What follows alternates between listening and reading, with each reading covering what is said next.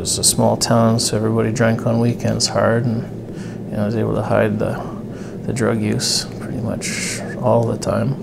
And with me, everybody saw the, the good time. They didn't see the dark side. When people started realizing who I was, I'd move on. I'd just get the hell out of Dodge and find a new place to live. And that cycle continued till, uh, geez, I continued till I ended up here actually at 41. I just started seeing cocaine everywhere.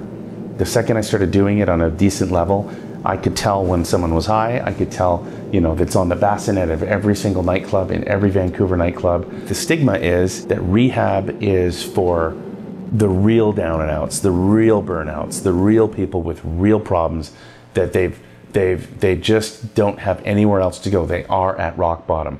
And that's just not true. My conception of them was it would just be, you know, a bunch of uh, heroin addicts, you know, that have been, that are homeless, that are, you know, dirty, um, uh, thieves or, you know, criminals. There's this broad brushstroke uh, that gets applied to everybody that struggles with an addiction. And it's usually the lowest, the behavior of the lowest common denominator. Society considers them different.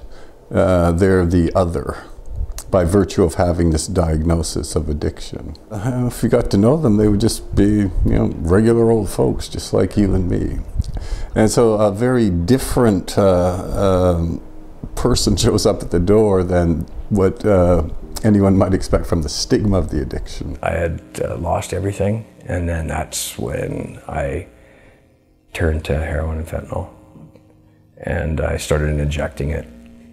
And when I arrived here, I had no veins left anywhere. If you had to go away someplace for heart surgery or to, you know something like you know to do with your body in some way. Um, you'd have no problem telling people that. But it's really sad that I feel I have to sit here and kind of protect myself.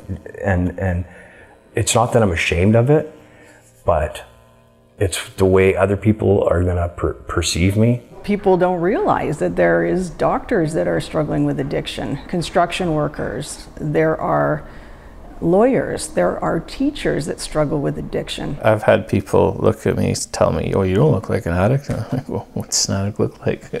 this, this is one right here, you know. It's fathers and brothers and, and sons who are just trying to become better at that again. That's what they're here for. They're here to just become good people again.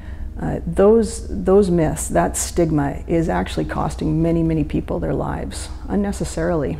I've met so many amazing people that have helped me along the way through this place, and they're addicts. You know, we're not bad people. We're um, we're just broken people. That you know, we don't need to be punished. We've we've been punished enough. We've punished ourselves enough.